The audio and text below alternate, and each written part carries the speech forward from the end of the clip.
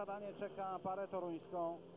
Jason Kramp poza jedną wpadką w trzecim swoim starcie jedzie raczej dobrze, momentami bardzo dobrze.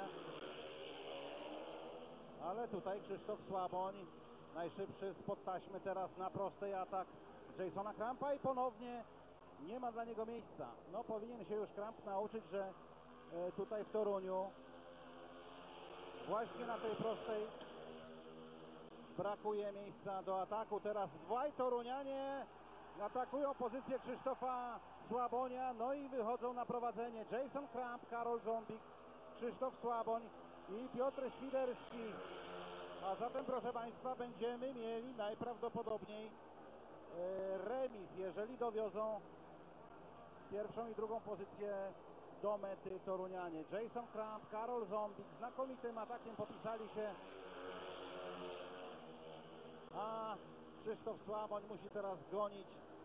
Z pewnością jest okropnie zły na siebie, że dał się w tak dziecinny sposób objechać. Jeszcze próbuje atakować, ale na nic to się zdaje. Jason Kramp 3 punkty, Karol Zombik 2, Krzysztof Słaboń 1 bez punktu, Piotr Świderski.